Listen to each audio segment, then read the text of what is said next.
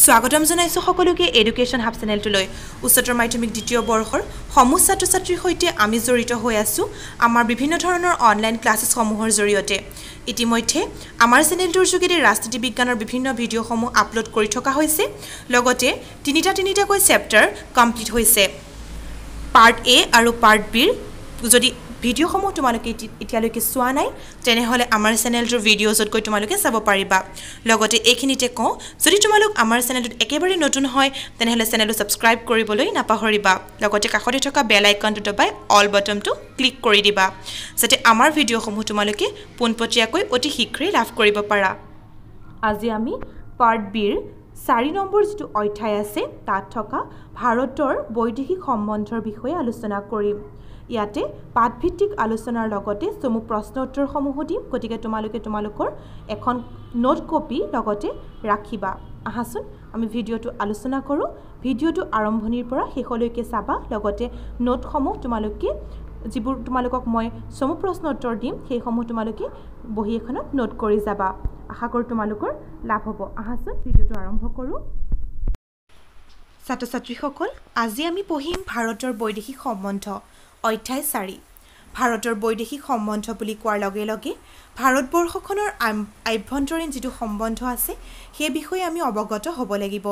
পোনপ্ৰথমে আমি জানিব লাগিব যে ভাৰতবৰ্ষখন এখন গণতান্ত্ৰিক গণৰাজ্য য'ত ভাৰতবৰ্ষৰ সমগ্ৰ জনসাধাৰণে নিজৰ চৰকাৰখনক নিৰ্বাচন কৰাৰ ক্ষেত্ৰত কেনেকৈ নিৰ্বাচন কৰি উলিয়ায় জাতি ধৰ্ম বৰ্ণ লিংগ নিৰ্বিশেষে ওঠৰ বছৰ সম্পূৰ্ণ হোৱা সকলো সুস্থ সবল ব্যক্তিয়ে নিজৰ চৰকাৰখন নিৰ্বাচন কৰাৰ ক্ষেত্ৰত পূৰ্ণাংগ স্বাধীনতা ভাৰতবৰ্ষত প্ৰদান কৰা হৈছে। ভাৰতবৰ্ষখন স্বাধীন জনৰাজ্য হিচাপেও বিবেচনা কৰা হয় কিয়নো ভাৰতবৰ্ষখন যিহেতু এখন স্বাধীন গণতান্ত্ৰিক গণৰাজ্য গতিকে ইয়াতে সকলো জনসাধাৰণক প্ৰাধান্য দিয়া হয়। যেতিয়া আমি এই বিষয়বস্তুটো পঢ়িম আন্তৰ্জাতিক প্ৰসংগত তেতিয়া আহিব যে ভাৰতবৰ্ষখনক নিৰাপত্তা প্ৰদান কৰাৰ ক্ষেত্ৰত ভাৰতবৰ্ষখনৰ লগত শান্তি কেনেকৈ বৰ্তাই ৰখা হয় সেই বিষয়বস্তু সম্পৰ্কে।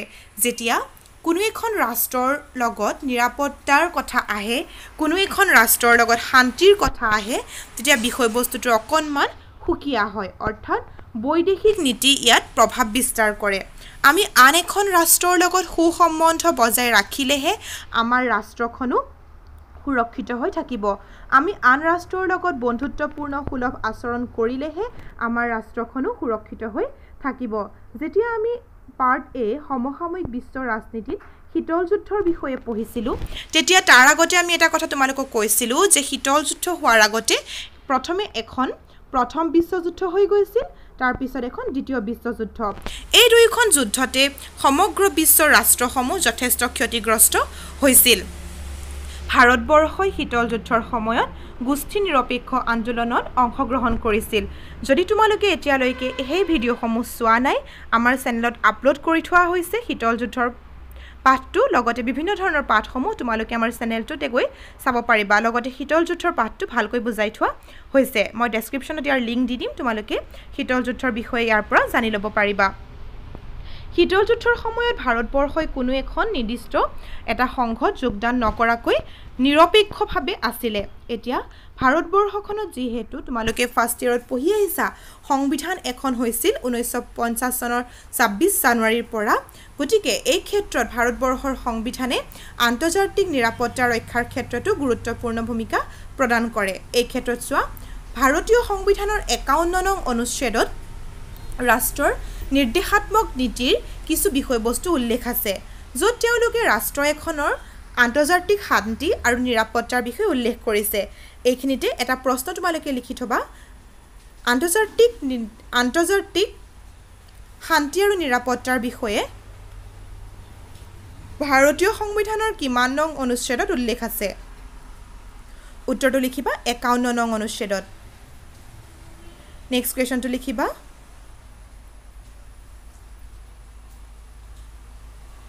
ৰাষ্ট্ৰৰ নিৰ্দেশাত্মক নীতিৰ যিকোনো দুটা উদ্দেশ্য উল্লেখ কৰা। উত্তৰটো লিখিবা।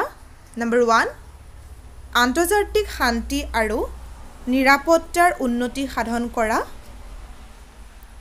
নাম্বাৰ টু লিখিবা ৰাষ্ট্ৰৰ মাজত ন্যায্য আৰু সন্মানসূচক ন্যায্য আৰু সন্মানজনক সম্বন্ধ বজাই ৰখা।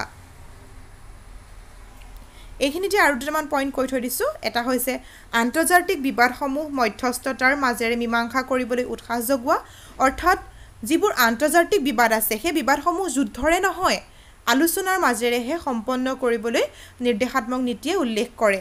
লগতে সংগঠিত জনগণৰ এটাই আনটোৰ লগত বন্ধুত্বপূৰ্ণ আচৰণ সন্ধিমূলক আচৰণ কৰাৰ কথা ইয়াতে ব্যক্ত কৰা হয়। আমি নেক্সট পইণ্টটো পঢ়িম গোষ্ঠী নিৰপেক্ষ নীতি। যিহেতু গোষ্ঠী নিৰপেক্ষ আন্দোলনৰ বিষয়ে আমি কিছু পৰিমাণে পঢ়ি আহিছোঁ গতিকে এতিয়া আমি পঢ়িম গোষ্ঠী নিৰপেক্ষ নীতি। গোষ্ঠী নিৰপেক্ষ নীতি বুলি কোৱাৰ লগতে এইখিনিতে মন কৰিব লাগিব যে ভাৰতবৰ্ষ যেতিয়া স্বাধীন হৈছিল স্বাধীন হোৱাৰ পিছত ভাৰতবৰ্ষখনৰ সংবিধানখন সংবিধান এখন লোৱাৰ কথা উল্লেখ কৰা হৈছিল।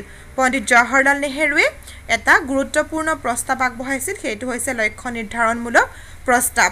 সেই প্ৰস্তাৱটোৰ যোগেদি গোটেই ভাৰতবৰ্ষখনৰ জনসাধাৰণক একত্ৰিত হোৱাৰ কথা উল্লেখ কৰা হৈছিল। গতিকে গোষ্ঠী নিৰপেক্ষ নীতিয়ে এই ক্ষেত্ৰত উল্লেখ কৰে যে নিৰপেক্ষভাৱে থাকি সকলো ৰাষ্ট্ৰৰ লগতে বন্ধুত্বপূৰ্ণ আচৰণ বৰ্তাই ৰখাৰ কথা ইয়াত উল্লেখ কৰা হৈছে। যিহেতু ভাৰতবৰ্ষখনে আমেৰিকাই হওক বা ছোভিয়েট সংঘই হওক কাৰো লগত পোনপটীয়াকৈ যোগদান কৰা নাছিল গতিকে এই ক্ষেত্ৰত বন্ধুত্বপূৰ্ণ অলপ আচৰণ কৰাৰ কথা উল্লেখ কৰা হৈছে। ইয়াতে আমি জানিব লাগিব যে গোষ্ঠী নিৰপেক্ষ আন্দোলনৰ ক্ষেত্ৰত নেহেৰুৰ ভূমিকা কেনেকুৱা আছিল।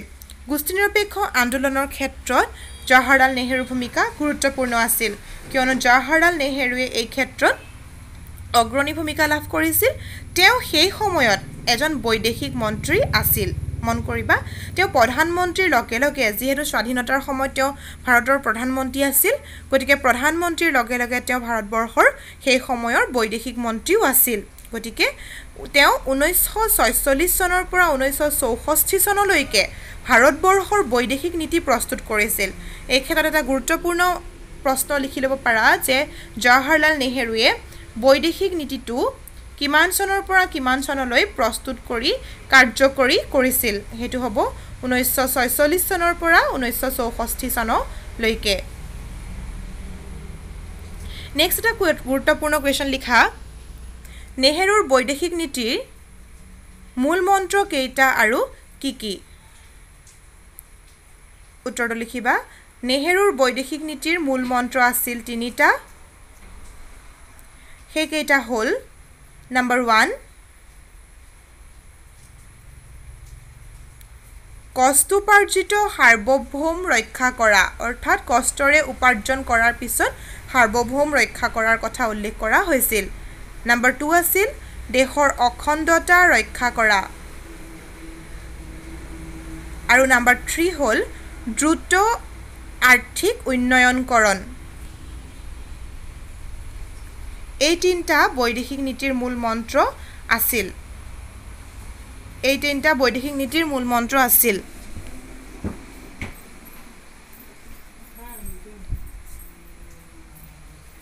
তোমালোকে এই বিষয়বস্তুকেইটা মন কৰিবা গতিকে ইয়াৰ পিছৰ পৰ্যায়ত তোমালোকে এটা গুৰুত্বপূৰ্ণ কুৱেশ্যন এইখিনিতে আহিব যে গোষ্ঠী নিৰপেক্ষ আন্দোলনত অগ্ৰণী ভূমিকা লোৱা এজন ব্যক্তিৰ নাম লিখা। তেনেহ'লে তোমালোকে গম পাইছা যে গোষ্ঠী নিৰপেক্ষ আন্দোলনত অগ্ৰণী ভূমিকা গ্ৰহণ কৰা এজন ব্যক্তিৰ নাম হৈছে জৱাহৰলাল নেহৰু। এইখিনি তোমালোকে কথাটো গম পালা যে জৱাহৰলাল নেহৰুৱে গোষ্ঠী নিৰপেক্ষ আন্দোলনত অগ্ৰণী ভূমিকা লাভ কৰিছিল। নেক্সট কুৱেশ্যনটো হ'ব। শীতল যুদ্ধৰ সময়ত বিশ্বব্যাপী থকা শিবিৰকেইটা কি কি আছিল? উত্তৰ লিখিবা পুঁজিবাদী শিবিৰ আৰু সমাজবাদী শিবিৰ। পুঁজিবাদী শিবিৰ আৰু সমাজবাদী শিবিৰ।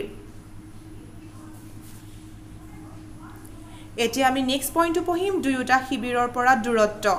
অৰ্থাৎ ভাৰতবৰ্ষই কেনেকৈ দুয়োটা শিবিৰৰ পৰা দূৰত্ব বৰ্তাই ৰাখিছিল? ভাৰতবৰ্ষই কেনেকৈ শীতল যুদ্ধৰ সময়ত না পুঁজিবাদী অৰ্থাৎ আমেৰিকা যুক্তৰাষ্ট্ৰক সমৰ্থন কৰিছিল না সমাজবাদী বা ছোভিয়েট সংঘক সমৰ্থন কৰিছিল কাকৈ সমৰ্থন নকৰাকৈ কেনেকৈনো দূৰত্ব বৰ্তাই ৰাখিছিল সেই কথা উল্লেখ কৰিম আমি।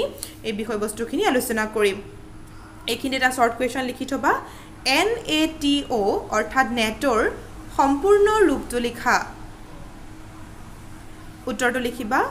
North Atlantic Treaty Organisation.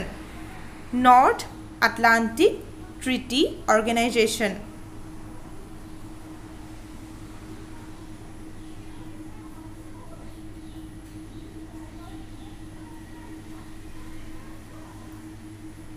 এতিয়া এটা নেক্সট কুৱেশ্যন লিখিবা যে ৱাৰছ চুক্তি কাৰ দ্বাৰা ৱাৰছ চুক্তি কাৰ কাৰ মাজত সংঘটিত হৈছিল? উত্তৰটো লিখিবা ৱাৰছ চুক্তি ছোভিয়েট সংঘ আৰু ভাৰতৰ মাজত সম্পন্ন হৈছিল।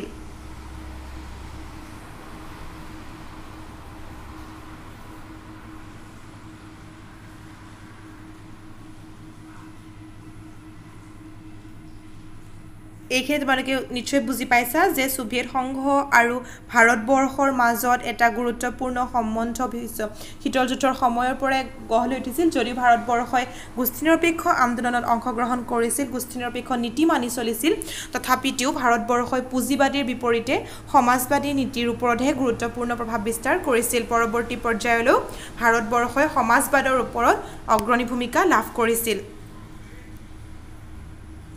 নেক্সট আমি পইণ্টটো আলোচনা কৰিম এফ্ৰ' এছিয়ান একতা। এফ্ৰ' এছিয়ান একতাইনো কি কি বিষয়বস্তু উল্লেখ কৰে সেই বিষয়বস্তু সম্পৰ্কে আমি আলোচনা কৰিম। চোৱা এফ্ৰ' এছিয়ান বুলি কওঁতে আফ্ৰিকা আৰু এছিয়াৰ কথা উল্লেখ কৰা হৈছে। এই ক্ষেত্ৰত ভাৰতবৰ্ষৰ লগতনো কেনেধৰণৰ সম্পৰ্ক আছিল কি কি বিষয়বস্তু আছিল সেই বিষয়ে আমি ইয়াতে আলোচনা কৰিব লাগিব। তাৰ লগতে তোমালোকে দুটামান কুৱেশ্যন লিখি থোৱা। এফ্ৰ' এছিয়ান সন্মিলনখন কাৰ কাৰ মাজত সংঘটিত হৈছিল?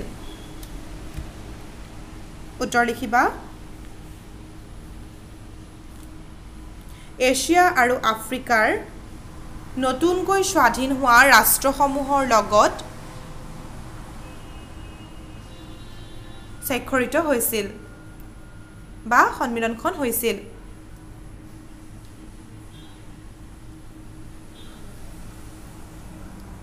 তাৰপিছত লিখিবা যিটো আমি গোষ্ঠী নিৰপেক্ষ আন্দোলন বুলি কৈ আছোঁ তাক ইংৰাজীত কোৱা হয় নেম বা নাম N A M non alignment movement non align movement যিটো কোৱা হয় নেম সেই নেমৰ প্ৰধান শীৰ্ষ সন্মিলনখন ক'ত অনুষ্ঠিত হৈছিল এইটো বহুত বেছি ইম্পৰ্টেণ্ট কুৱেশ্যন নেমৰ প্ৰধান শীৰ্ষ সন্মিলনখন ক'ত অনুষ্ঠিত হৈছিল?